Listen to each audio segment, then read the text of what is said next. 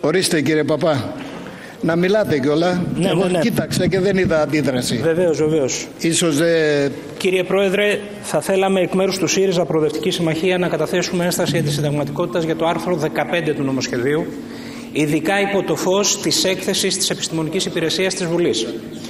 Το Σύνταγμά μας είναι σαφές ότι δεν απαγορεύει να φορολογούνται οι Έλληνες και οι Ελληνίδες με τεκμήρια. Υπό δύο σοβαρές προποθέσει. Αυτά τα τεκμήρια να είναι μαχητά και να βασίζονται σε διδάγματα κοινής πείρας.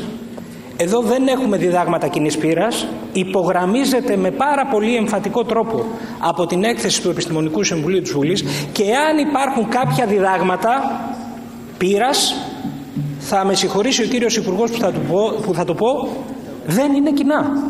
Διότι δεν είδαμε κόμμα της αντιπολίτευσης ή έστω ένα φορέα να μοιράζεται τα διδάγματα της πείρας τα οποία έχει ο συγγραφέας του νόμου ο οποίος μάλλον είναι διαφορετικός από το, συ- από το συγγραφέα της ανάλυσης συνεπειών ρύθμισης του συγκεκριμένου νομοσχεδίου η οποία ανάλυση συνεπειών ρύθμισης δεν παραπέμπει σε πραγματικά δεδομένα για τον προσδιορισμό του τεκμαρτού εισοδήματος των αυτοαποσχολουμένων και των ελευθέρων επαγγελματιών με βάση τον κατώτατο μισθό.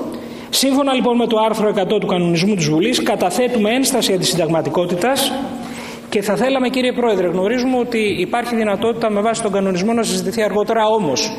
Καθώς έχουμε ενημερωθεί ότι ο κύριος Μητσοτάκης θα είναι στην Εθνική Αντιπροσωπεία και θα τοποθετηθεί επί του νομοσχεδίου.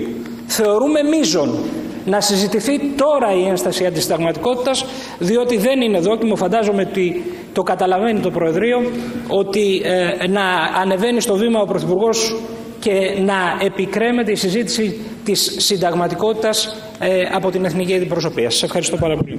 Έγινε αντιληπτό κύριε